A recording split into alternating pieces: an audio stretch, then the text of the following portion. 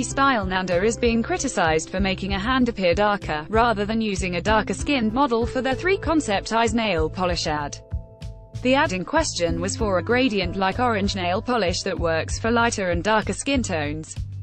People started to notice that the palm of the darker hand was quite unusual.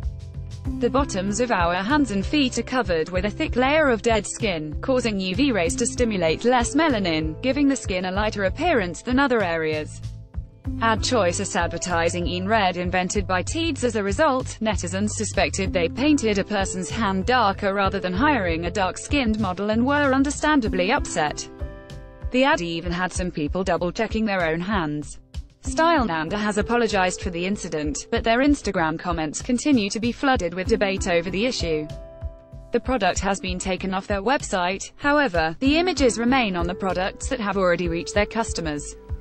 Wanna One Kim Jae-hwan's acoustic version of BTS, The Truth Untold, is going viral.